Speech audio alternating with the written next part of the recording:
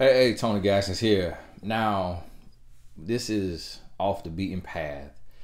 And I told you this year, I'm kind of focusing on the holistic life, everything that we deal with in life as people, as parents, as spouses, as co workers. We're going to touch on whatever it takes to get your life to a certain place where you're feeling good and you're in a good space. Now, first and foremost, with this video, I want to send my thoughts and prayers to Damar Hamlin and to him and his family and friends and teammates and everyone impacted by the incident that happened with him in the game. Everyone is still praying for him and hoping that he pulls through. The last I heard today is that he's still in critical condition and they said that he had been rolled onto his stomach to take some of the pressure off of his lungs while being on the ventilator. And it really hit hard, it really stung. And I've been wanting to talk about sports in the sense of for parents because almost every parent puts their children into sports. And I've been wanting to talk about this for so long because my oldest is 15 and he's been in sports since 18 months. And I think our youngest is he's eight and he's been in sports since six months. And so we really believe in sports and the lessons that come from sports. And my wife, she ran track in college. She ran the 800 and I played football in college. And before college, my wife, she played volleyball, basketball, track, even did, you know, a little bit of softball. And I played basketball, football, track. I played soccer at a young age. Never liked baseball, but we're both athletes. And I was very athletic in high school. And I transferred and went to this private school and was in the paper every day for football and basketball. Basketball, I was averaging almost 18 points a game. Football, I was averaging 10 yards a carry, over 10 yards a carry, which is, you know, kind of insane, but it was private school. And so I was playing against a lot of guys who weren't that athletic and didn't really care about sports. And it would have been a lot more had the coach gave me the ball more, but it just, you know how that works. And then I went to college on a full scholarship and played football in college until I was kicked off the team after the third year. I was in college into other things, into the ladies, hustling, doing all kind of stuff that I shouldn't have been doing and not focusing on football. And while I was in college for those 3 years, I was diagnosed with six concussions. And I believe there were there were a lot of other concussions that I did not report. And when I had those hits to my head in 2002 to 2005, when I was playing college football, targeting wasn't a thing. Which now targeting, where you go spear with your head into somebody else's head, now you get ejected out of the game in college. And in the NFL, I believe you get a penalty. But that wasn't a thing, and it definitely wasn't a thing in practice. And I used to I redshirted my freshman year, which means for those of you who don't know about college sports, it basically means you get a free year. You go to practice, you know, you you're in school, you just don't play, and it doesn't count against your four years of eligibility. It's an extra year, and so I redshirted, and they put me on the scout team. Now technically I was a better running back than our starting running back who was a senior. And he was a big guy, over 200 pounds. I was 160 pounds. And even at over 200 pounds, he was very scary. He kind of used to tiptoe out the hole. He was kind of fast. He was pigeon toed. But when he was about to get a hit, he would always turn his back. And that let me know that he was scared. And me, I would kind of scat back. I would find a hole, hit the hole fast as I can, and I'm gone. And if somebody get in front of me and I ain't got nowhere to go, I lower my shoulder and run into them, try to run them over. Well, I was dominating our first team defense a lot of days in practice, and they started getting mad because I was making their lives harder, and they would try to their best to tackle me, and we would be doing goal line like just ten yards and I would score. I remember one practice I scored like four touchdowns in a row. And I don't know if they were going through the motions or if I was actually scoring on them. But they got mad because the coaches started yelling, cursing them out. And then when they got the chance to put hands on me, I, we we had two linebackers that was 260 pounds. Both of them were 260. They were different heights though. One of them was like 6'1", 6'2". The other one was like 6'4", 6'5". And they ran a 4.5 in the 40 yard dash, and I ran a 4.4. And they maybe ran a 4.6, 4.7, but it was said they ran a 4.5. And they were big and they were fast. And when they would hit me, one of the guys squatted, his, his squat was 900 pounds.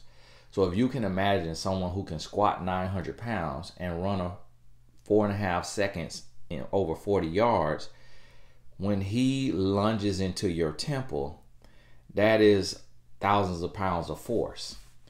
And I was hit like that several times in college during that red shirt freshman year. Probably to the point that if I really looked into it with a civil attorney, I probably could sue the school and get me a check because now people are doing that to the NFL and they're getting checks for life and or sue the NCAA or whatever. But I never looked into it, and it it hurt.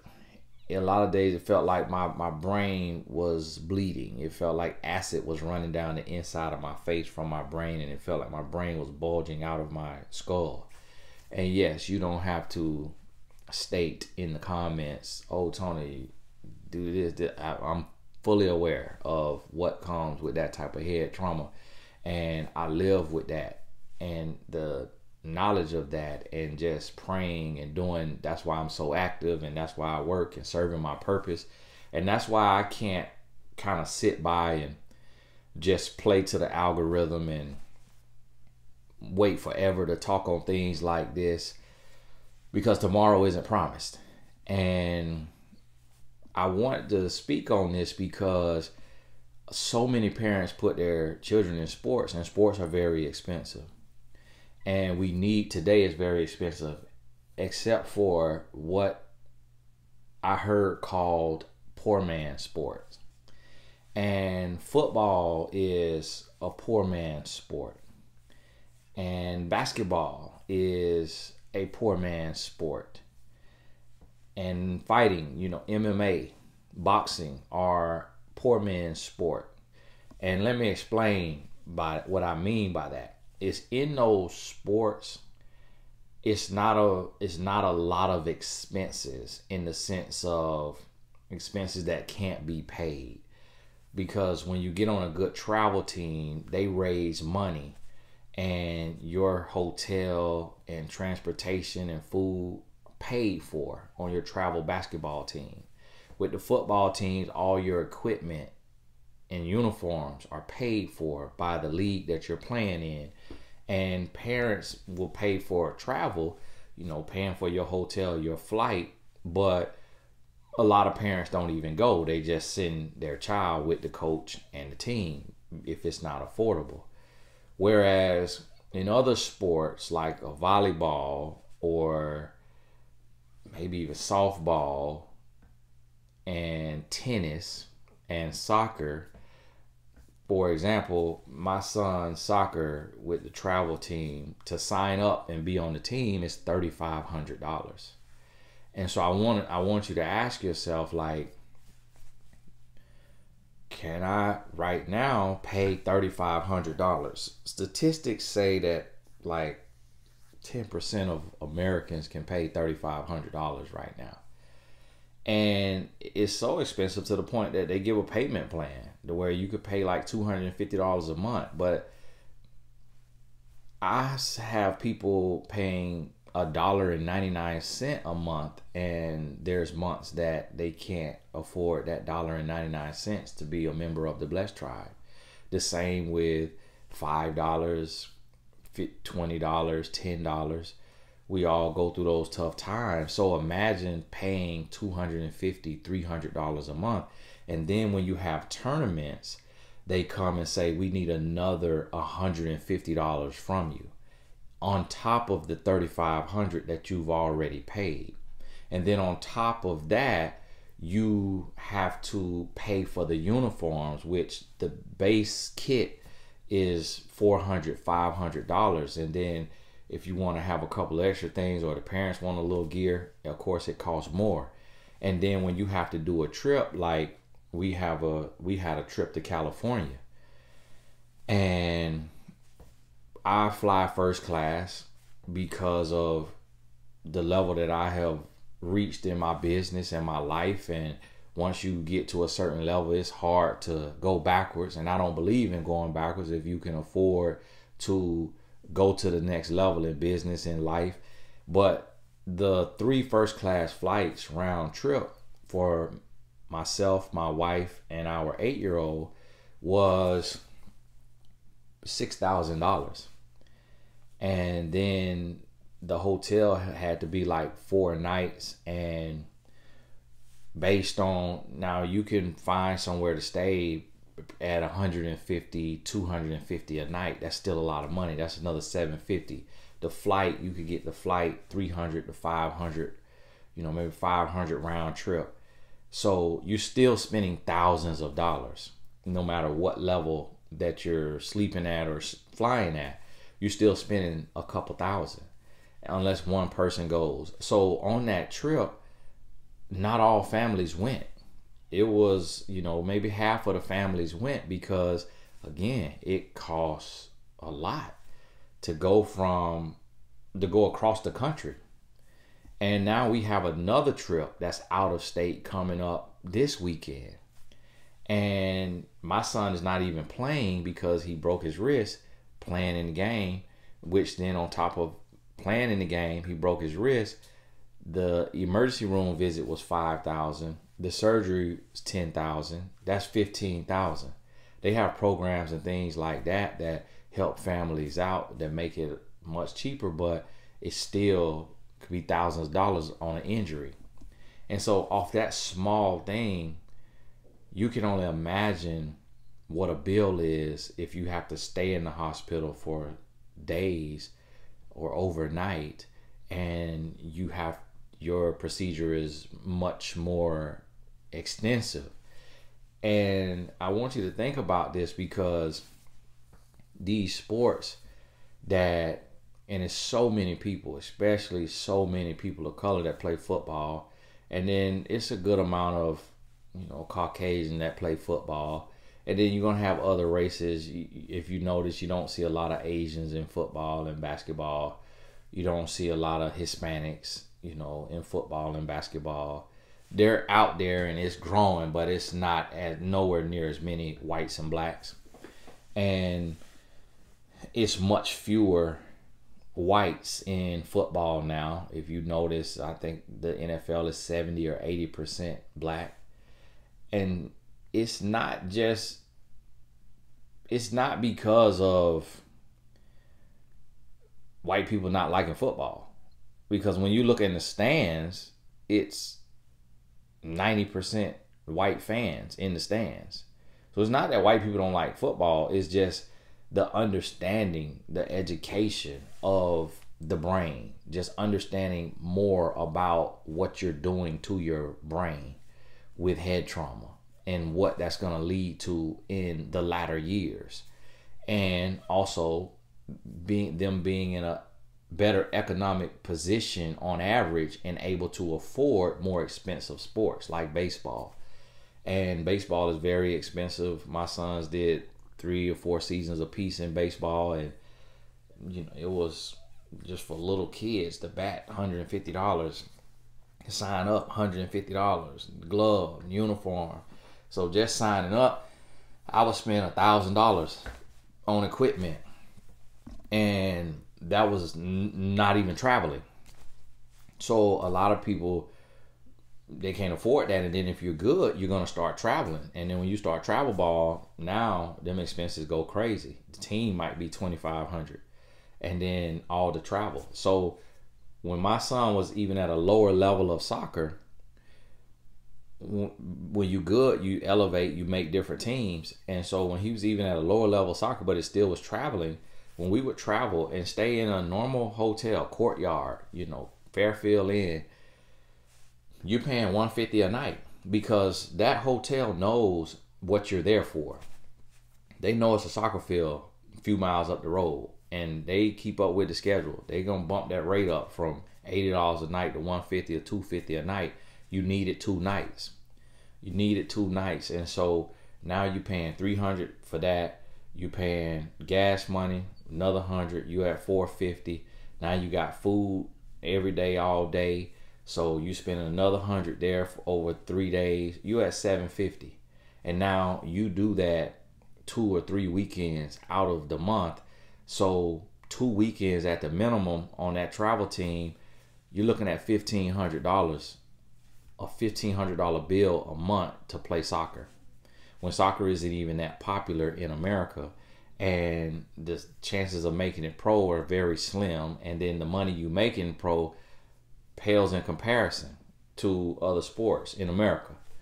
And I say that to say, and yes, there's concussions in soccer, of course, not as many as football, but it costs. So people get out of these sports.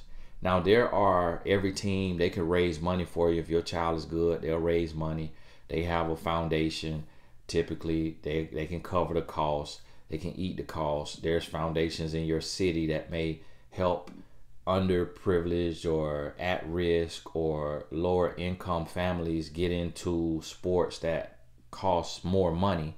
And if there's not a foundation and you have the ability to start that foundation, you need to start it one day I'm gonna start that when my sons are grown and out the house, and if they become pros or play, you know, in college, I'm gonna get with them to start a foundation to help kids get out of the the inner city and the lower income areas and get on a 15 passenger van and be taking to soccer practice and tennis practice and golf practice.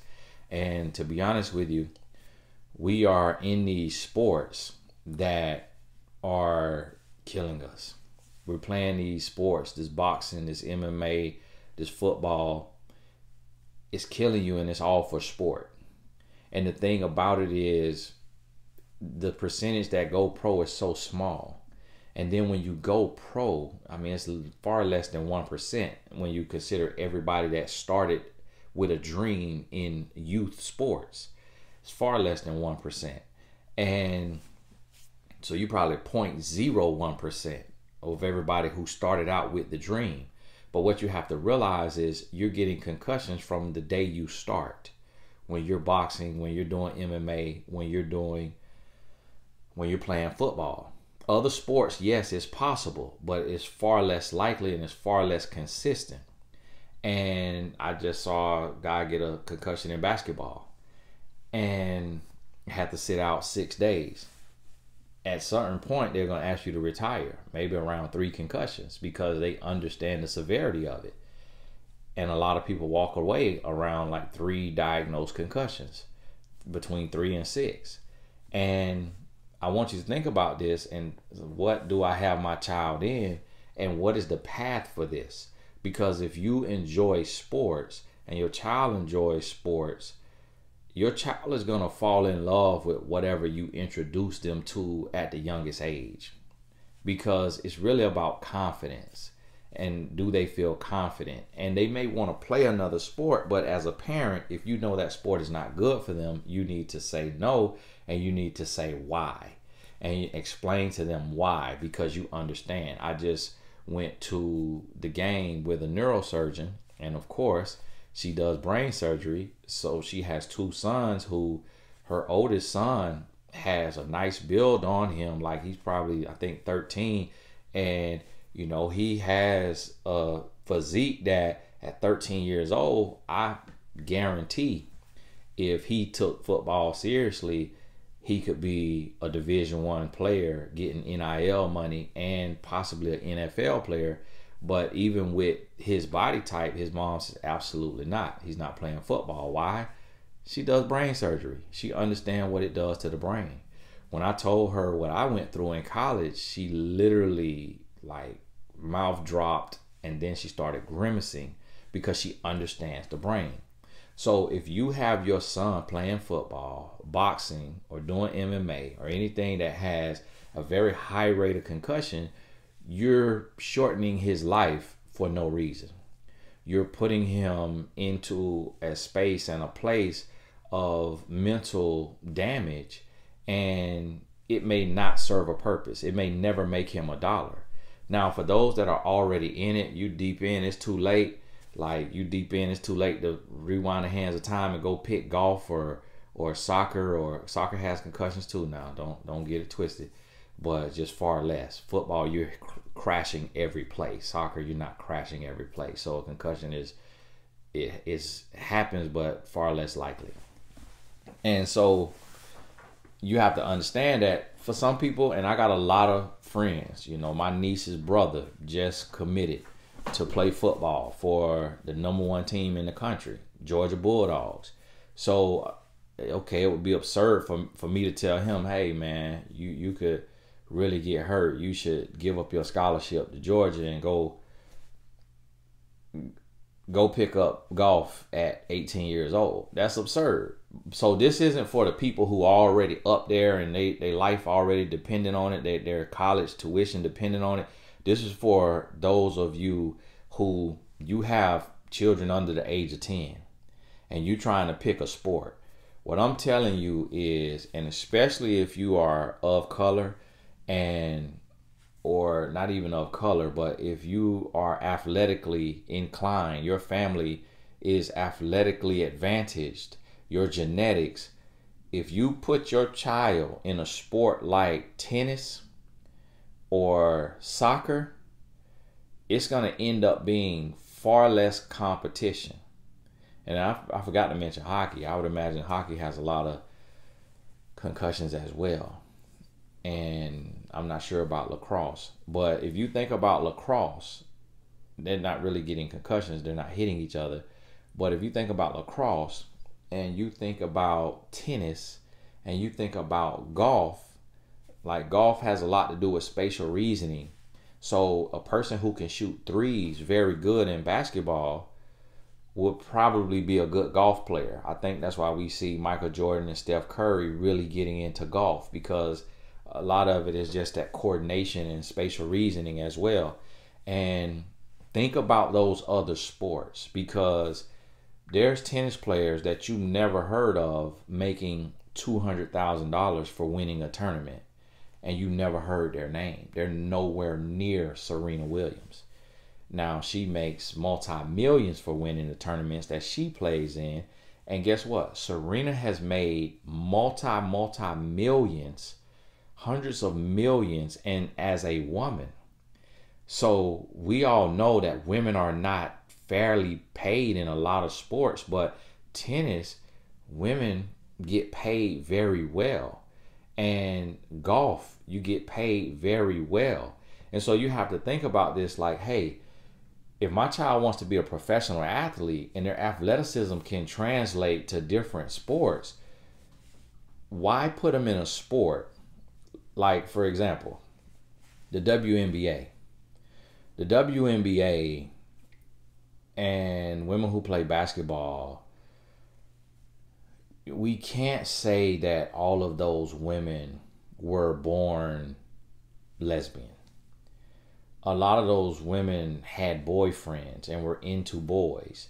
But because of the masculinity and a lot of women feeling like they have to play like a boy, and they have to be like a boy in order to be good at the sport, a lot of them take on a masculinity. And then because they're around women all day, every day, they become drawn to women. And because some women may be naturally built in a certain way or may carry themselves more masculine or have a more muscular frame, then they may be kind of ostracized or alienated by the guys and so they feel stranded, alone, and they gravitate towards what is available to them. And so if you notice in the WNBA, there are a lot of women who are with women. And even on a very high level, very prominent players in the WNBA are now in same sex relationships. So it and my wife tells me about all the the young ladies that used to hit on her when she was playing high school basketball. And we we try to brush over that because of you know the the organization LGBTQIA they've added letters to it. Now we try to brush over it like we're going to be offending them but you have to talk about the reality of it. Is if you have a daughter and in your religion or your culture or in or even in her belief system she's not attracted to women and you put her in a sport that is largely dominated by women who are attracted to women now she becomes susceptible to being preyed upon and approached and mistreated and put in a very awkward position because your teammates should be your teammates. But I used to work with women's teams in college, and there was a lot of dating on the team. So there were sexual activity within the team. And that's not healthy for a team, but that's what your daughter is being put up against when you put her in the basketball. And so it's very, and then the percentage of that turns pro is very small. And then they turn pro and all we hear about is their complaints about the amount of pay how, how much they get paid. And at, at one point the WNBA like a rookie school teachers make more than a professional basketball player. And that's still the case in certain states. School teachers make more than some of the professional women basketball players. And so you have to ask yourself, is it worth it to utilize my child's athleticism in a sport that she may not be welcomed because of her sexual preference, or she may feel out of place because she prefers men, and she may feel out of place because half of her team prefers women. And of course, they're not going to be, you know, now on some teams, yeah, she's gonna get her butt grabbed and it's gonna get a little touchy feely in practice. But so we gotta be honest, and that's the elephant in the room that people try to avoid and people try to lie about. And people try to say, oh, just because I'm attracted to my same sex doesn't mean that I'm lusting after if in it that's what attraction is. Attraction leads to lust. So that's gonna happen just naturally. And then we have to be real about that. So you have to think about this. So do you take and put your athletic daughter in a sport where it depends on her? Like her mindset, her ability, like golf, like tennis. And then her special ability gets rewarded at a very high level when she turns pro and she gets or she gets a full college scholarship but she doesn't have to deal with a culture that may be not suitable for her based on her preferences in life. And then even with ballet and dance, people will go into cheerleading has a lot of concussions. The neurosurgeon told me that. But people will go into these industries and dedicate tens of thousands of dollars and there's no end reward and there's no there's not a lot of benefits of what you're walking away with as far as lessons.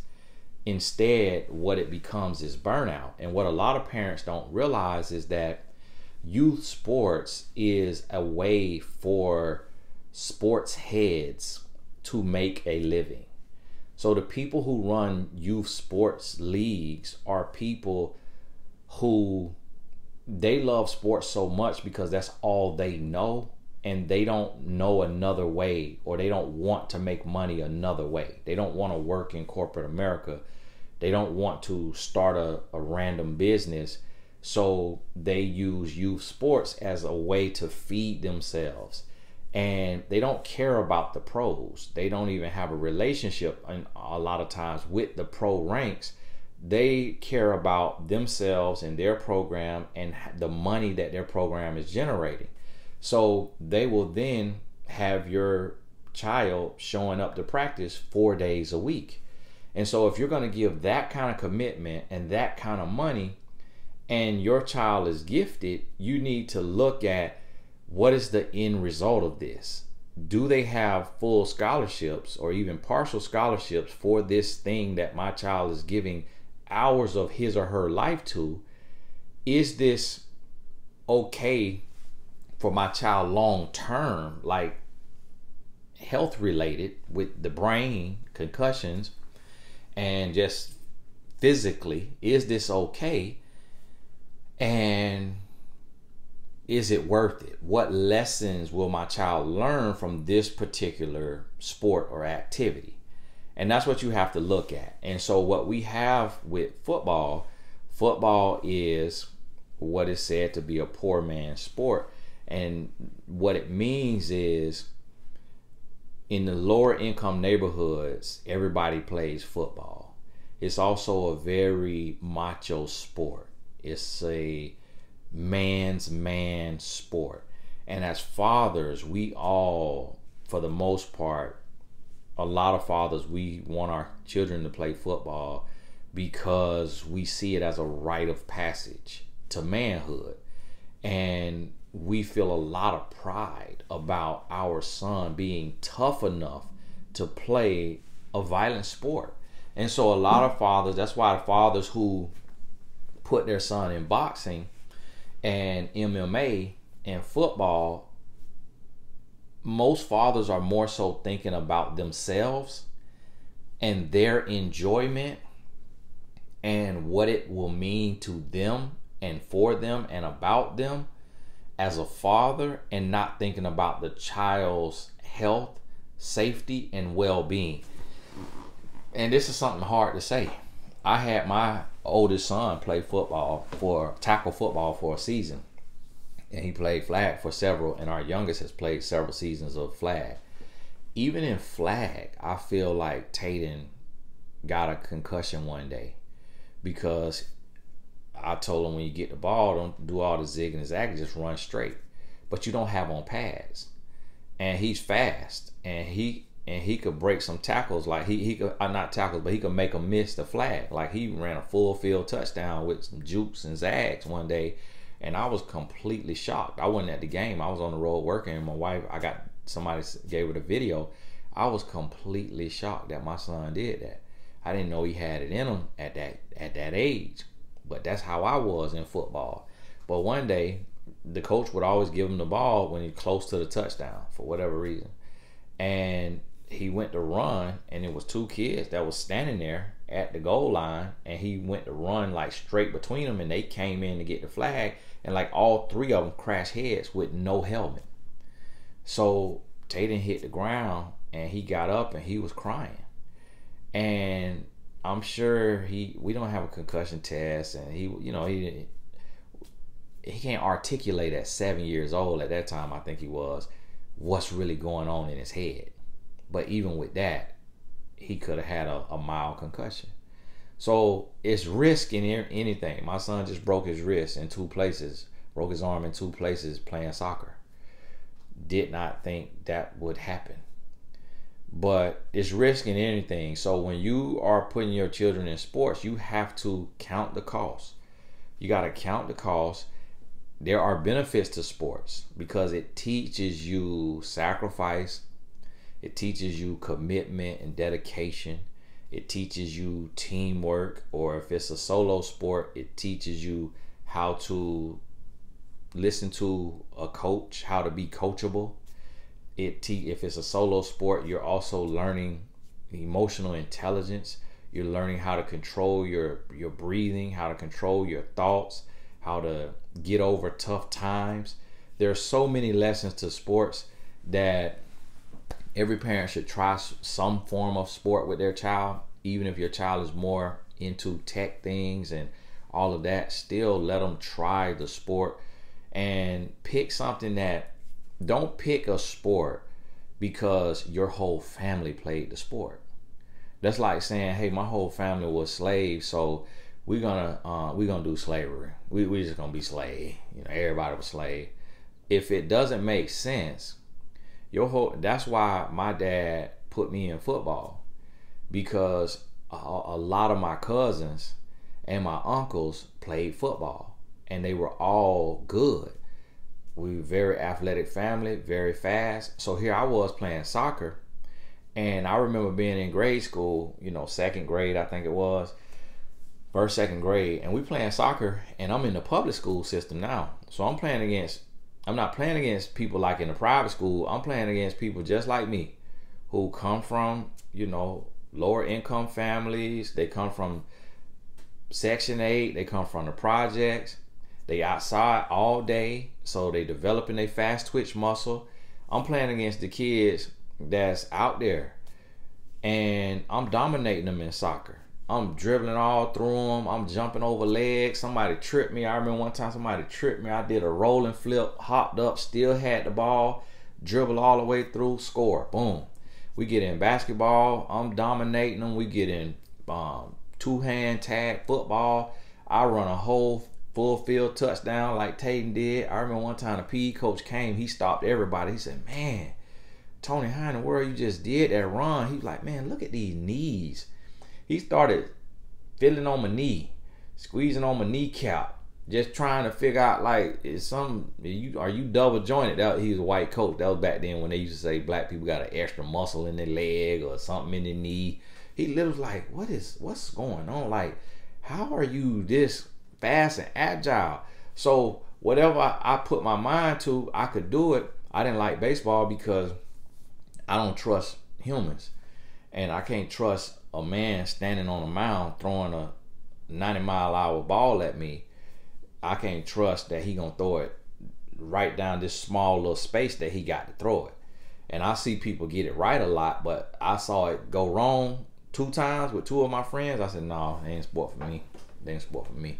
So I never played a season of organized baseball, not even T-ball. I had no interest whatsoever and I did not like football. But because all of my family played football, and then when I hit 10, I started to excel at football. So when you were running back and you scoring two, three, four touchdowns against hood children, meaning children from the ghetto, children from the hood, children that's super athletic, and you scoring three, three touchdowns in a game, you finna stay in that sport. Your family finna keep you in that sport because you might can go somewhere with this. And what we were doing as children, we were doing bull in the ring. We doing bull in the ring. So you you in a circle and there's somebody in the middle. And the person in the middle, I think we used to spin around in a circle. Think about how sadistic this is, really. You spin around in a circle, and then when the coach blow the whistle, whoever you facing, you run and hit them head on. So I remember excruciating headaches as a child because we that was before targeting and head on head was outlawed. And so here's the NFL with all white ownership, but 70 or 80% black players in a very vicious game it's really like slavery for sport. And what you suffer, it's only a fraction of them that make life changing money. Most of them make normal money. Like a lot of the players make normal money. They they broke without within a couple years of getting out of there. Their money is gone. Like they cannot live on that money the rest of their life because the average career is like three years, three or four years, and that's what they say is the average. But honestly, out of the ten guys you know that go to the NFL, most of them be done in two years, and it be people like Tom Brady who pull up the average. You know, them guys who played 13 years, but they just one person on their team that does that. They pull up the average to three years But the people you know personally and you heard of personally, a lot of times it, it be like that. And that money be gone. I got a homeboy that got a business right now. His business is gonna make him a millionaire. But he did two years in the NFL and he got eighty thousand for each year. That eighty thousand was gone before the second season was over with. So you have to realize this, but yet we got a lifetime worth of pain. We got a lifetime worth of headaches. And guess what? My friend that I'm talking about has to smoke weed every single day. Smoke weed every single day, multiple times a day for his ailments, for just for whatever his nerves, his his what have you. I don't smoke. I probably need to smoke if it really did something. I don't smoke, but that's why I work like I work. That's why I serve like I serve to keep my brain active, to keep my that's why I got over 50 streams of income. That's why I'm writing as many books as I can, doing as many courses as I can to keep my brain active because with all the concussions, you don't know where your brain to be at 55, 60, 65. And what you have to realize and a lot of people don't talk about this. This is this is very quiet it's kept very quiet. I never watched the movie Concussion. I didn't need to watch the movie because I lived the movie. I lived the life. So I didn't need it. I knew what I was suffering with. I knew what I was going through. And I was a very quiet kid. I was a quiet kid. And if I talk to a brain person, brain surgery person, or, or I mean a neurosurgeon or a brain scientist, neuroscientist, I would like to know if they know how fast your personality can change after head trauma. Because if a person can lose oxygen to their brain for a few minutes and then be a, a vegetable and like be like immobile and can't speak and can't talk, then what happens when a person has severe trauma to their head? And I remember an example showing like a Twizzler, the red Twizzler and inside of that Twizzler, how I got the hole, it showed like little nerd candies, the little the little nerds, the little colorful nerds, and it was saying like, this is your brain, right? These are the things in your brain, and when it is when it receives trauma, it's like that Twizzler stretching, and now there being room for those little nerves, those little balls to move around to one stack on top of the other one, one flip around, one move out of line. And it's saying that is your brain chemistry and, and it's changing your depending on the part of your brain, it changes you. So what happened? We see a lot of people who have had a lot of brain trauma take their life or take other lives or have to be highly medicated every day on prescription pills, pills, or on self medication like marijuana.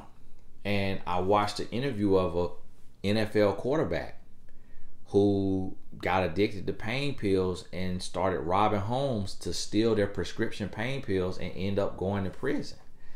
And a lot of people don't want to associate that to concussions. But when you come up, especially if you're an adult or you of age now playing football, this targeting thing just been a rule last few years, couple two three years. Before that, it was full on head collisions, and I remember watching Sports Science, and they said that they were showing an athlete, and they were showing like him running or him, you know, like going into some, throwing his body weight into something. They said that's 1,500 pounds of force and so imagine being hit in your temple, frontal lobe, whatever this lobe is called, with 1500 pounds of force. And that's just that athlete that was on the sports science channel that they used to do on ESPN. But imagine somebody that's faster than that, heavier than that, 2,000 pounds of force, 2,500 pounds of force. And this is what we're putting our children through in their it's relative of course but from a young age from the age of four and five they're playing tackle football they're falling on their head Hel- helmets trash falling on their head, getting hit in the head. And for the men, see, when you come into the knowledge, and if you ever, you know, if you ever played football and you've sat down and you've really thought about it and you've gotten knowledge about the brain, then you start to understand it. But the problem is, a lot of men who played football are uh, like brain dead. Not not brain dead, but meaning they punch drunk. They didn't been hit so much and went through so much from childhood. They're not even processing what this is doing.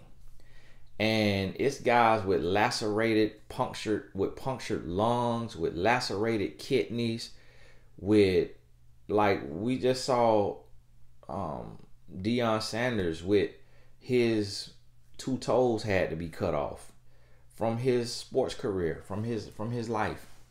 And all the medicine he got to take and all the massages he got to get multiple times a day on them legs so he could stand up and the pain that he in and just think this man in his mid 50s.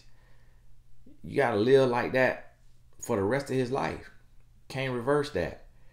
And the thing about it is what a lot of people don't think about is you don't have to be a Hall of Famer to have life altering pain. You could have just played through high school and have CTE.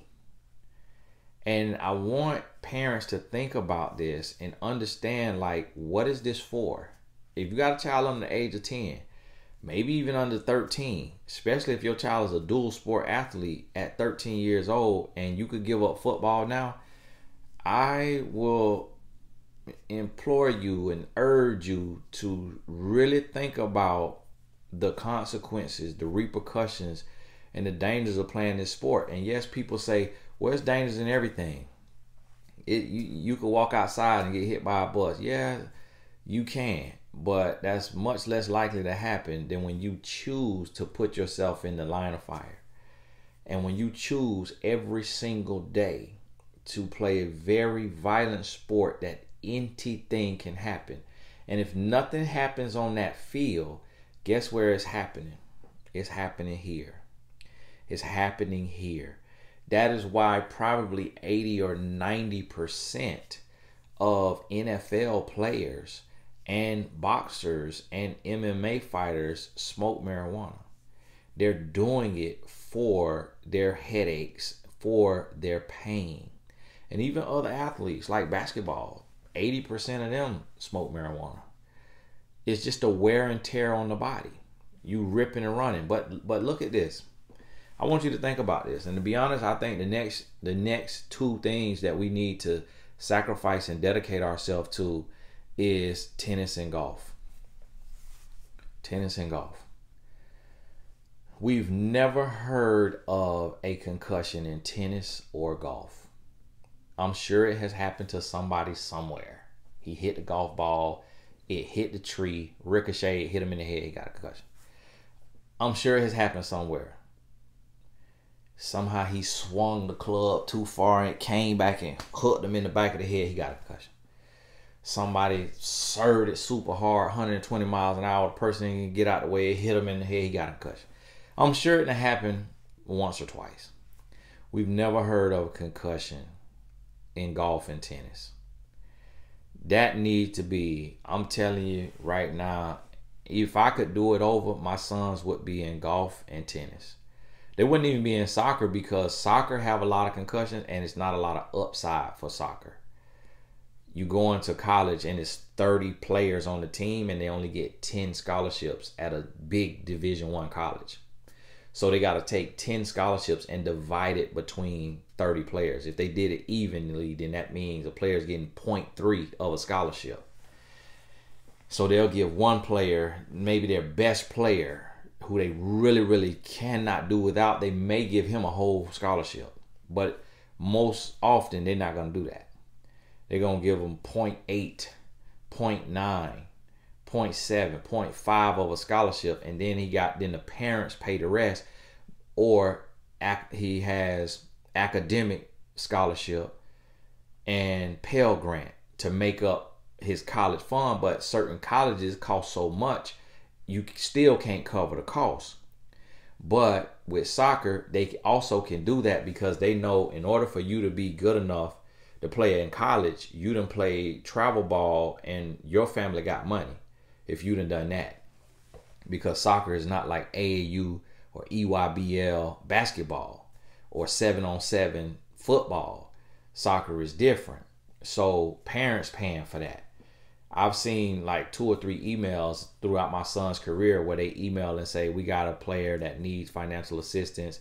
If anybody is willing to donate, please let us know. I've seen that two or three times in soccer. That's not something they do. People paying the money. And not everybody is like rich or anything, just people sacrifice for what they want. And most of the kids, eight, 70% of the kids not even gonna play in college. So the parents just spending thousands of dollars just so their kids could be active as kids. But everybody doesn't have that luxury. Everybody don't have that luxury to spend thousands of dollars for it not to pay off by choice. Like if it don't pay off by life circumstances, that's different. But to just choose not to play college, it's like new. Now I spent these thousand. Now you finna get a scholarship. You finna get a scholarship somewhere.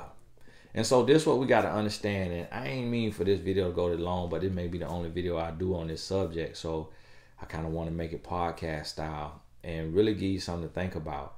I'm telling you, especially with women, if I had a daughter, I would not put her in basketball. I would not put her in basketball. That's the last. And no offense to my clients who play basketball, to my clients' daughters who play basketball and to the women I know that play basketball, no offense, but that is the I would not.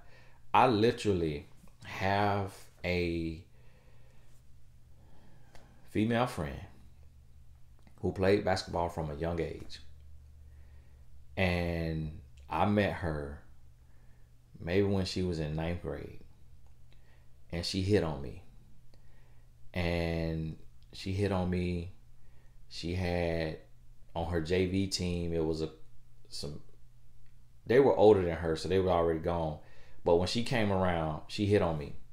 But I was older than her, and I'm like, I can't date you. You know, you young. And she was like, Hey, I'm young, but I'm off the chain.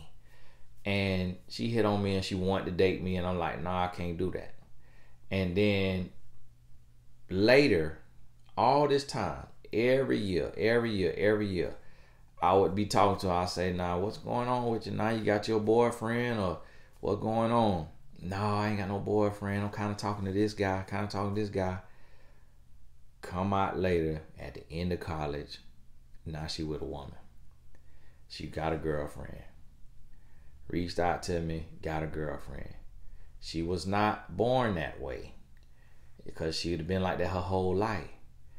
She was not raised that way, but it was the culture that she was in. And always around it, you adapt to what you around, especially when what you want ain't working out. A lot of people adapt to what they're around because humans want love. So if somebody is talking to you and they really nice to you and then they go to flirting with you and they go to making a move, they can make a move and be making love to your mind and you don't even realize it. And the next thing you know, everybody you every guy you done tried to be with, it ain't worked out. They done cheated on you. Some of them done put hands on you. Some of them done dogged you out in different ways, cussed you out. And then now you a woman and you got this woman over here and she's spending time with you. She listening to you. She giving you a back massage. She rubbing your feet. And heterosexual women do this kind of stuff with each other. So imagine a woman who like women. She could do so much under the guise of just being a woman cuz women kiss. Women do all kind of stuff. So she could do so much under that guise before your daughter even know that this woman has been hitting on her. And I have talked to women who from a young age said they like women and they say, oh yeah, I be turning them out. I be turning them out. And it's a lot of women who they take girls, girls and women who take pride in turning heterosexual women into lesbian women. If I had a daughter, I would not subject her to that culture, especially for a sport that she could get the same lessons from other sports that have a greater reward. Look at what happened with Brittney Griner. Because she played a poor person sport, that's what you call it when it ain't no bag attached to it at the high level. Because she played this sport, she had to go to Russia to make money. So she went to Russia to make money. She took her medicinal and end up getting locked up over there, sentenced to nine years. And then we had America had to give up a international arms dealer to get her out of there. But it's like, why are you in Russia? Because she's saying the WNBA don't pay me enough to set my life up, to set my family up, and she a WNBA star. So if a star feel like she ain't getting enough money and she got to go play in a whole nother continent, I would not subject my daughter to that game just because I love the game and I love basketball. That's my favorite sport. I love it. That's my first love. My mom used to always tell me, you better at basketball than football. That was my first love. I'm just, I'm 5'10. So, yeah, I could have been a long shot, but I wasn't finna make it. So, football is a better option it's easier to make it in football than it is in basketball. There's way more spots on the team in college, way more scholarships, and it's just an easier sport. Yeah, a lot a lot going on, but your position is easier to just get the ball and run away from people and make them miss than it is dribbling and trying to make this ball go into that basket. And I play both of them. I can tell you which one easier. Football, I do it in my sleep. Basketball is much harder, much harder. And I played it my whole life and still was 60, 70% from the free throw line. And still can't shoot threes. And played it my whole life. And was good at it. Top five in the county. And still was hard. And so I say that, but football, I get out there, I run all over them guys. Even in college, I'm all over them. Still averaging eight yards a carry. It was easy. But the price you pay to play that game People don't want to be honest about it, but the price you pay is great. And so right now, if you raising kids, you need to be you need to do some deductive reasoning and some critical thinking and you need to think outside the box and you need to really be mindful of what you got going on with these children and what sports you're putting them in. And you need to look at the pathway. You need to say, okay, how is this going to affect their mental? how this is going to affect them socially, how is this going to affect them spiritually, what type of culture is in this sport. Because in some sports, there's a culture of racism and discrimination. And I see that even with soccer, my son being uh, sometimes the only person of color on the field, he is refed harder. So the ref, if he go to ask a question, the ref get on to him and go to about to yell at him. But if one of the Caucasian kids go to ask a question, ref don't don't get on to him. My son got to break his wrist to get a foul call, and even when my son broke his wrist, still wasn't no foul call on that play. And so yeah, he kind of slipped and kind of dipped, but player dove into him and fell on top of him. Still wasn't no foul call, to my knowledge. But I noticed that I pay attention to that. So if I could do it over, my son will be in golf because you can't cheat him. If the ball go in the hole in X amount of hits, voila, voila. Tennis, you can't cheat them at a certain level. You can cheat them in young. The ref could have a prejudice and say, "Oh, it was out when it was in," but it get to a certain level, they got that camera now. That camera gonna tell you if it was in or out. So I do that and or I would do baseball, even though it's some risk with that ball flying at you, and the sport is much slower than soccer and basketball and football. I do baseball because baseball, if you fast and you good, when you get to the pros, instead of making a hundred and twenty thousand like you do on the practice squad in the NFL, when you get the baseball, you making that to be in one of the lower levels one of the lower leagues, and then you get to the major leagues, You you making minimum five hundred thousand or more, and baseball your money guaranteed. Baseball your money guaranteed. Basketball for for guys, basketball is different than it is for women.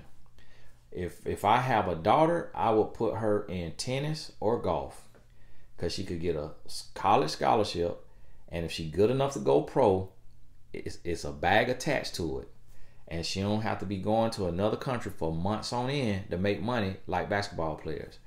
And then think about the visibility. Some people play softball, some people play volleyball but think about the professional visibility. There may be a professional volleyball league. I know nothing of it, have not seen it on TV. There may be a professional softball league. I know nothing of it, haven't seen it on TV. So even with this stuff, it's like if you playing to become a pro, you need to choose a sport that the pros is actually prevalent and prominent and a real deal in your country. And if that's not the case, then you just finna be a pioneer and gonna dedicate thousands of hours and all of this time to end up a lot of times these athletes having only been affirmed as athletes end up unfulfilled, unhappy, and it leads to depression, leads to a lot of bad choices. So I want you to think about this thing, and I'm so sorry it went so long, but it's just it's I know it's a lot of mixed reviews on these type of topics and it's a lot of sensitive stuff that's that's hard to say hard to talk about.